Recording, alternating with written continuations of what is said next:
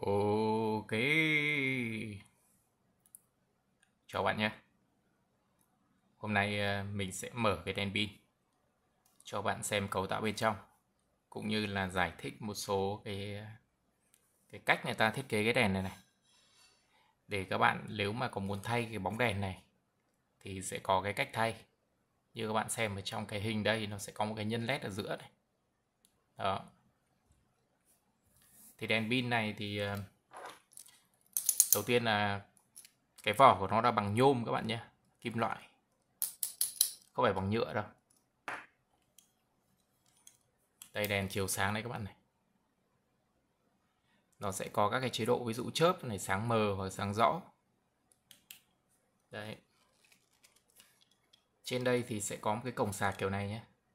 Chân cắm này là chân ờ, 1.3 các bạn ạ và người ta có làm một cái cao su để bịt chống nước, trường hợp mà đi ờ, trời mưa. Đó. Còn để tháo nó ra đây thì các bạn chỉ cần vặn nó thôi. Dưới này lâu không vặn này, tuột.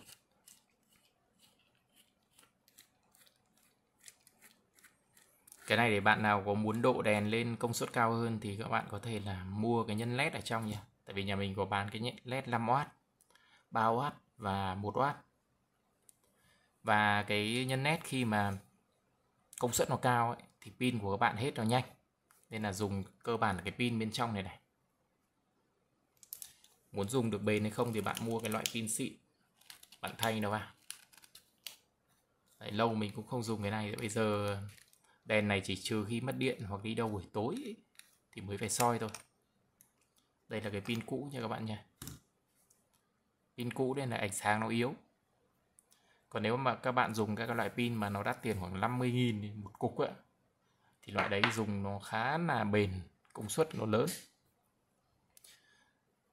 Đây về cái đèn này thì ờ, các bạn thấy trong nó cũng có lò xo như cái đèn pin ngày xưa cái đèn mà màu trắng trắng nhôm nhôm ấy, mà dùng các cái pin ờ, đại.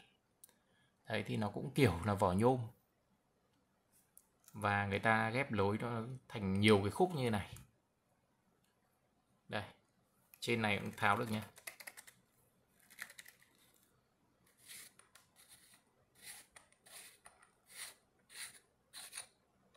đấy, cũng bằng nhôm luôn này bạn này. Tại sao người ta thiết kế bằng nhôm? Vì cái nhôm này nó có tính tản nhiệt. Cái nhân nét bé như này thôi. Nếu mà bạn không tản được nhiệt, nó sẽ cháy. Đấy. Đây, cái này cũng tháo được luôn nhé tháo rồi chỉnh cái tiêu cự tức là xa gần đấy. Các bạn cứ xoáy nó ra. Đấy, người ta thiết kế đây. Nhôm tất. Chỉ có đây này chóa này bằng nhựa này. Trên sẽ có miếng cao su này. Thủy tinh này. Đấy. Cái này để kẹp khi các bạn à, đi trời mưa thì nước nó không vào được. Tại vì các bạn siết cái gen này vào là nó ấn sát vào luôn. Nên đèn này đi được trời mưa bình thường các bạn mua trên thị trường thì người ta sẽ có cái đèn nó như thế này. Nhưng mà có những bạn thì hỏi số mình để mua độ cái nhân này này cái nhân bên trong này độ để làm sao công suất của nó lớn hơn đấy.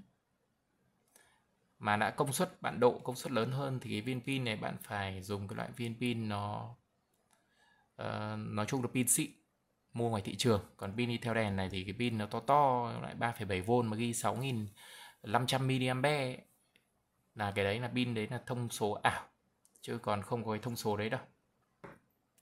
Bạn dùng phải cỡ như VTC ờ, mấy cái viên pin VTC hay là viên pin Soli hay là mấy viên pin uh, của hãng thương hiệu ấy, Licen gì đấy thì bạn mua nó cũng khá là đắt đấy 5 60 nghìn. Loại đấy thì dùng bền mà dùng công suất nó cao. Dòng xả nó cũng lớn cái đấy nó dùng nhiều chức năng mà. Nhưng mà mình ờ, mình thấy nó công suất của nó bền đấy còn bạn độ một viên pin bình thường thì mua nó cũng khoảng 30.000 thì dùng cũng tương đối. Đấy đây là cái ờ, nhân nét theo đèn nhé để tản nhiệt này bạn thấy này. Đó lắp vừa luôn này.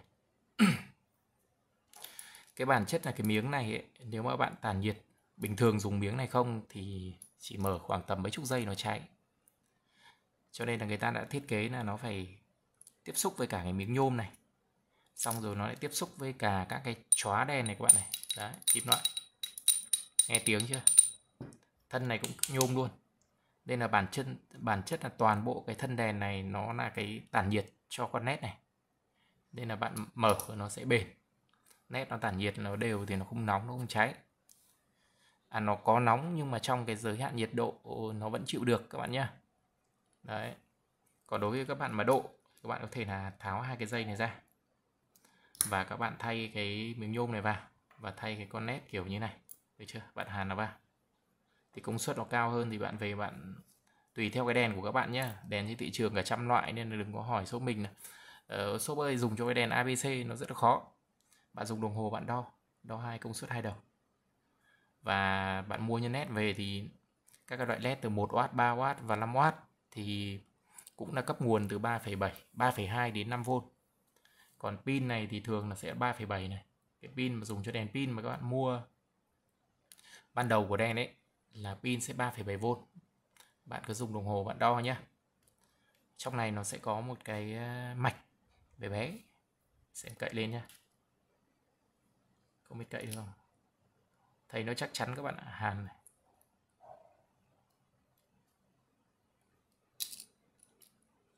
Đây này, có một cái mạch điện tử này.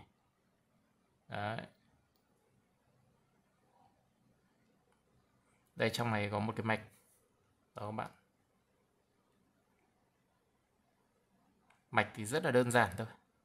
Nên là về, các bạn cũng có thể là dùng à, đồng hồ bạn đo đi xem nó có tăng công suất hay không. Tùy theo cái đèn của nhà các bạn. Còn cái đèn này của mình mình sẽ không đo. Như mình nói, nó có cả trăm loại trên thị trường. Nên là nó sẽ không giống với các loại của các bạn đâu. Chỉ có là cái này là giống này. Là cái đế nhôm. Bạn có thể là độ cái led này riêng. Thì bạn nắp một cái vào là nó được luôn. Đấy, bắt quan sát kỹ cho mình cái đây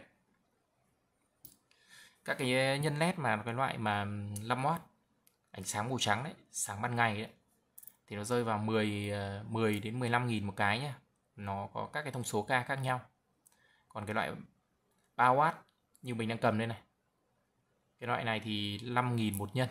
Còn cái loại led mà 3W mà loại ờ, thông số theo cái chỉ số K chỉ số màu á thì loại này nó sẽ đắt hơn khoảng 10.000 đó. Có bạn nào mà hỏi là chỉ số màu như nào thì ví dụ như là ánh sáng ban ngày thì bạn xem thường thì cái chỉ số nó khoảng là 6.000 đến 6.500 k. Đấy. Còn cái ánh sáng và ánh sáng lạnh ấy, trắng mà cảm giác nó trắng trắng rất là trắng thì nó rơi vào 10 đến 13.000 k nhé các cái ánh sáng ví dụ như là ban ngày à, ánh sáng như là hoàng hôn thì nó rơi vào tầm 2 đến 3.000 k còn chuyển màu cam thì từ 1 đến 2.000 đấy mình nói qua nó như vậy. Thì các cái mà nó theo cái màu sắc như thế thì nó sẽ nhân nét nó sẽ đắt hơn. Đấy, và các cái nhân nét này thì bạn nào mua số lượng từ 20 cái trở lên nhà mình mới bán. Còn bạn nào mua mà bảo mua một cái thì thôi bạn à, không cần hỏi đâu tại vì không bán chắc chắn là lỗ vốn có mấy nghìn bạc, không đủ à, để đóng gói các chi phí nhé cái nhân nét này các bạn à, cũng có thể là độ chế.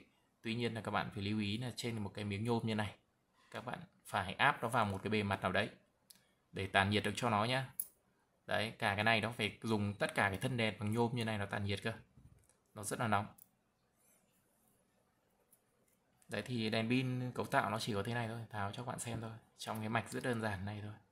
Đấy bạn có thể là không cần mạch nếu bạn dùng pin 3,7V và thắp trực tiếp cho bóng nét Tuy nhiên là khi 3,7V thì công suất nó sẽ không đạt được chẳng hạn như 5V 5W thì ở cái điện áp 3,7V nó không được 5W. Đấy. Còn bạn mà lên được khoảng tầm ờ, 4,7 gần 5V thì công suất nó sẽ lên đến 5W hoặc là nó vượt đấy. Tuy nhiên là bạn dùng đến non một tí bóng 5W thì dùng dưới 5W thì nó bền hơn tản nhiệt tốt nha 3W thì dùng khoảng tầm ờ, dưới 3W 2,5 2,7 thôi. Chứ còn nó có thể nó lên là hơn 3W đấy bạn cứ cấp cái điện áp một lớn hơn lên một xíu là nó sẽ tăng lên. Đấy còn ngưỡng điện áp thì à, ngưỡng ờ, điện áp cung cấp thì khoảng 3,2 đến 5V thôi các bạn nhé. Không nên vượt quá nên đến 6 7V làm gì. Nó hỏng. Rồi video ờ, thì mình dừng tại đây thôi. Quay và nói qua cho các bạn về cách tản nhiệt của cái nhấn nét cũng như là giới thiệu các cái loại bóng nét kiểu này. Đây nó bé bé nó gọn gọn kiểu này. Đây là cái keo tản nhiệt. Thì một túi bé này nó có thể là dùng cho được 10 đến 20 cái bóng nét này, tùy theo cách bạn bôi. Đấy, bạn bôi nó một tí cái phần này thôi. Một tí phần kim loại ở giữa này thôi nhá. Xong bạn ấn thẳng vào đây này, thì nó tiếp xúc tốt hơn thì nó tản nhiệt chứ đừng có bôi tất. Rồi, ok các bạn.